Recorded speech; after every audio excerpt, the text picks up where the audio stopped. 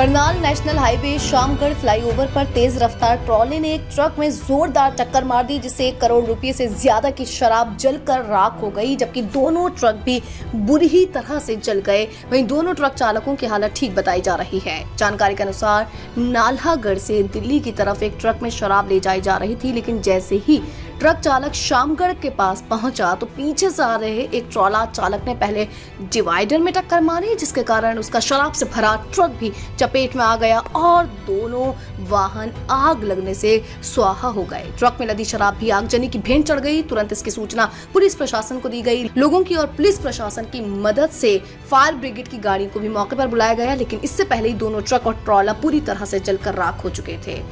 सवा करोड़ का नुकसान है इसमें जी ये जी क्या नाम है आपका सर? मेरा नासिर चौधरी है। कब जानकारी मिली थी आपको? हमें जानकारी ड्राइवर ने दी थी डेढ़ दो बजे। जी। भाई ऐसे ऐसे हो गया भाई वो है। हमने सोचा चलो थोड़ा बहुत होगा। फिर हमने सुबह आके यहाँ देखा चार बजे चार बजे पहुँच गए थे। जी। ये तो चलो पुलिस प्रशासन और फायर ब्रिगेड की मदद से हादसे को आग बुझा दी। हमें कंट्रोल रूम के माध्यम से जानकारी मिली थी कि वैसे शामगढ़ फ्लाईओवर के ऊपर दो ट्रक टकराने से आग लग गई है। तो साथ ही अपना फायर ब्रिगेड की भी तीन चार गाड़ियाँ पहुँची जिन्होंने काफ़ी मशक्कत के बाद इन पे काबू पाया गया। लेकिन मेन बात यह है कि चालक सुरक्षित है। दोनों चालक सुरक्षित है? दोनों चालक सुरक्षित है। कहाँ का हादसा है? कहाँ पर हुआ था? ये शामगढ़ फ्लाईओवर के ऊपर हुआ था दिल्ली जाते हुए। कब हुआ था? ये रात को करीब एक दो बजे की बात है। कैसे आग लगी थी? ये दो ट्रक आपस में एक ट्रक था एक ट्राला था। जी। लंबे वाला।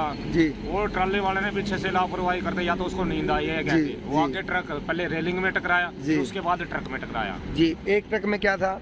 इसमें विस्की थी। और दूसरे ट्रक में? दूसरा खाली था। आग दोनों में लगी है? दोनों में आग लगी थी। इनका आप हालात देख सकते हो। दोनों के टायर वगैरह जल चुके हैं। मतलब ट्रक खत्म हो ही चुके हैं दोनों। जी क्या नाम है आपका? मेरा नाम हेड कांस्टेबल विकास है। विकास? हाँ जी डायल वन वन टू वहीं नेशनल हाईवे के मुख्य मार्ग पर हुई आगजनी की घटना के बाद जाम की स्थिति भी पैदा हो गई। पुलिस ने रास्ता डाइवर्ट कराकर जाम में फंसे वाहनों को दूसरे रास्ते से निकाला। फ़िलहाल पुलिस मामले की जाँच कर रही है।